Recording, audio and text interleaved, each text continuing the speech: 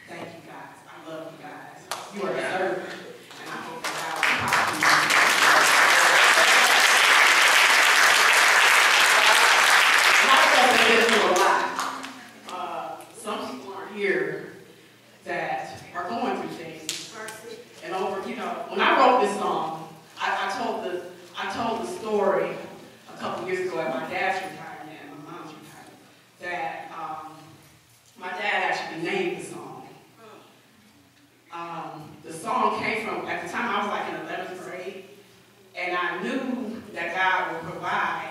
I was, I'm gonna keep it real with y'all. I was born with my little boyfriend